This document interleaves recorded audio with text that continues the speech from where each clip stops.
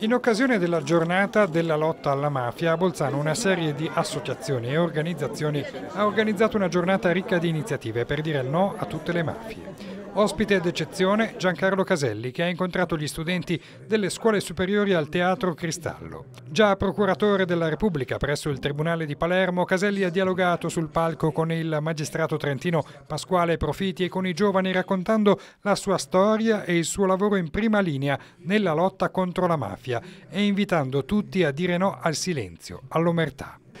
No al silenzio, il silenzio aiuta i poteri illegali, che sono forti non soltanto per la loro organizzazione,